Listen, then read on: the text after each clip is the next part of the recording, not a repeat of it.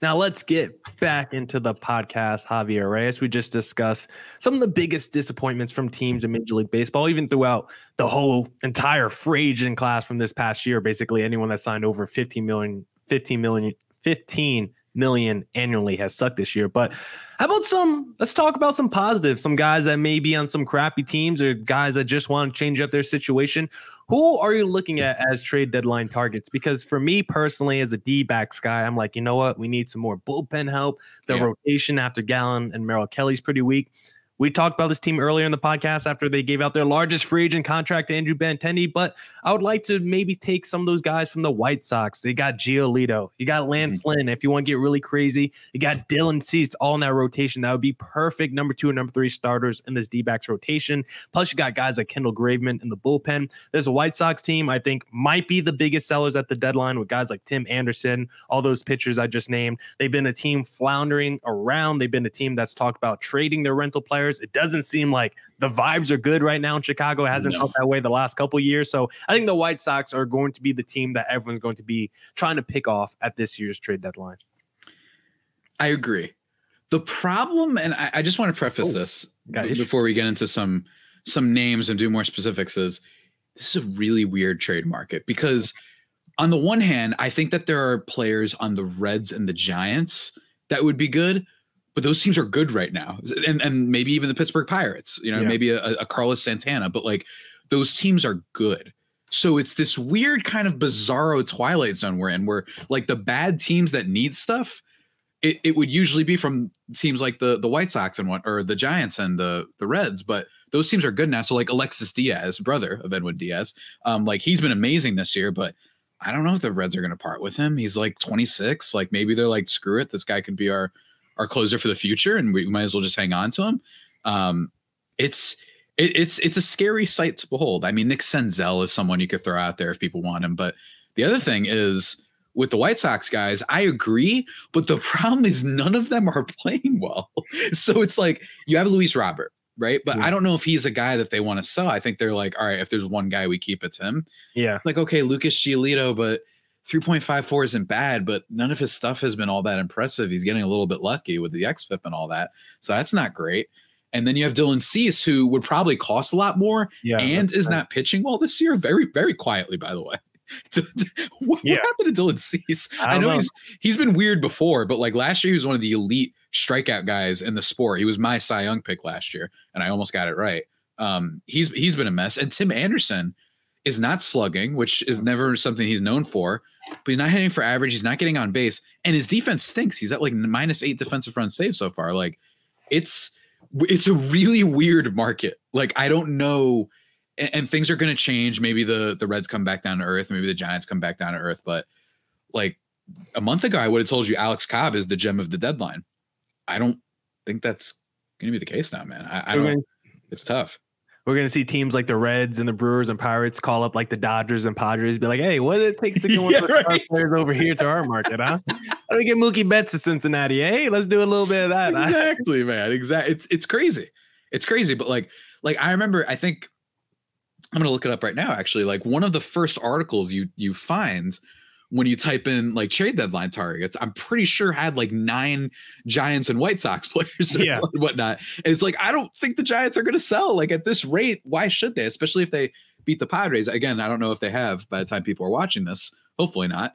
But it's it's just one of those rare bad markets, I think. And and there's some other guys that maybe maybe there are teams who do believe they're like, I can fix him with Lucas Lucas Giolito and some of these other guys on the White Sox, and maybe I don't know Brent Rooker of the A's or some Seth Brown of the. Oh man, see, see, you already are like, oh no. And they're having it's just the name really because they're having. I have Brent Rooker in fantasy. He's been fantastic. It's more when you hear a trade. Yeah, like, yeah, we gave up a, a, bunch of prospects for Brent Rooker today. You're like, ah, that one's not. like, oh no.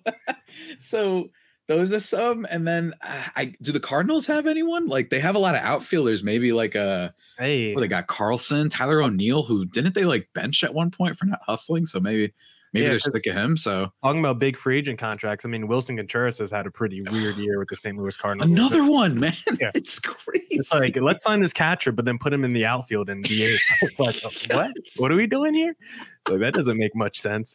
Um, oh yeah. I think when looking at this, the trade target, I think it's going to be pretty pitcher heavy. I think there's going to be a lot more pitchers, but I do think your point is correct because just looking at a team like the San Francisco, San, excuse me, San Francisco Giants, mm-hmm. they're basically a roster just full of like B minus B players and they're winning games, but it's like all these players that could fill holes for like true contenders. You got the JD Davises and you got a Joc Pederson or DeSclafani or Alex Cobb. Like they got all these guys that could be back end rotation guys or just like number six hitters in your lineup, guys that you need for that deep postseason run that can maybe give you a heroic moment or two. But it's like if I'm the Giants, I just tried to make a big splash in the free agent market. I already got all these B level players. Maybe I try to go out there and get an A level player, and maybe I get early. I don't think anyone's trading for Ohtani at this deadline, but who knows? I mean, I think this is going to be a big pitcher deadline. The Cleveland Guardians.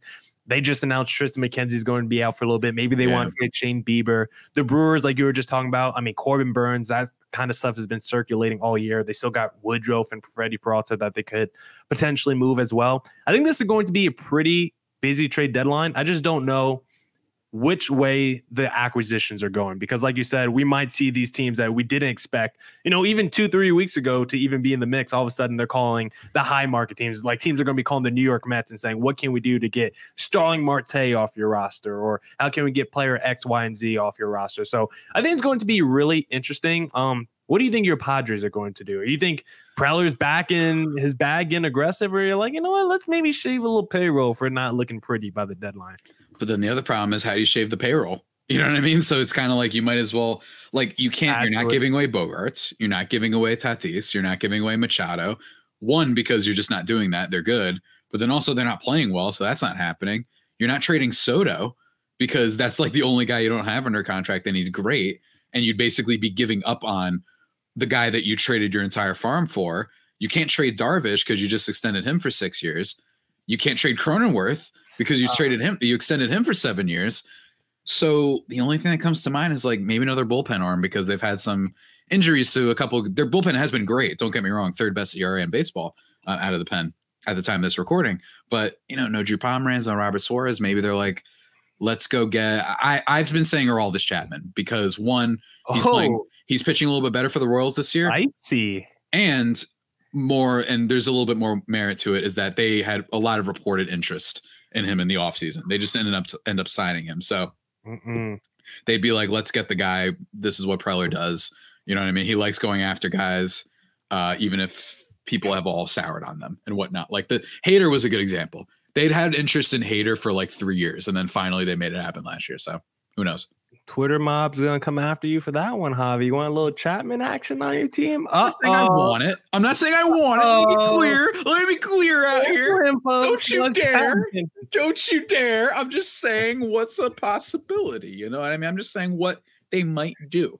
Uh, mm. I don't think they hmm. need to, but I feel like they'll make a move for just. I'm not saying this is a good thing, but for sake of just making a move, I don't think Preller can handle just sitting idly at the trade deadline. So we'll see. Well, I am glad Bryan Reynolds resigned because I'm tired of those trade rumors from the offseason. So thankfully, preaching to the choir, my man. Preaching to the choir. Wrote, oh my God, I wrote about that at Just Baseball too. By the way, the headline was "No matter what happens, at least Bryan Reynolds rumors are done." That was my takeaway. It drove me insane, man. oh my God.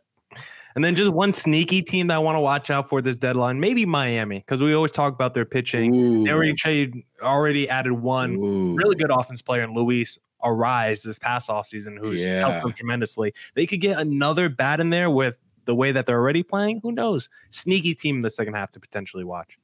Absolutely. Agreed 100%.